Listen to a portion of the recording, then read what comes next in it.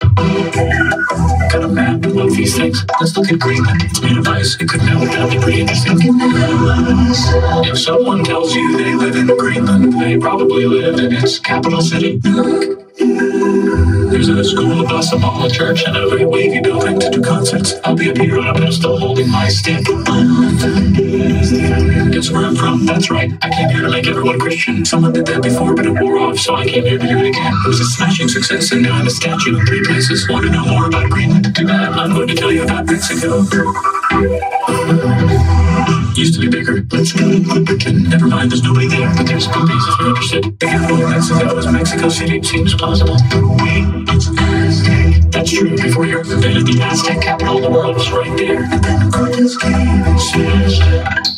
Meanwhile, still unsmashed is the Inca Empire, very powerful, unique empire. No wheels in this empire, very powerful nonetheless. Until Francisco Pizarro came it. Join me now as I sail over the Andes Mountains and contemplate the vast spiritual emptiness of doing a video without a topic. Surely I've frolicked too hard. I shall search for my punishment. Here's an Antarctica, they must have lots of punishments there. Yes, hello, I'd like to be punished. Can I complain? No, I was just in the neighborhood and hooray. Well, I guess that concludes this episode. And I know I forgot to talk about background, but we'll mention in another episode.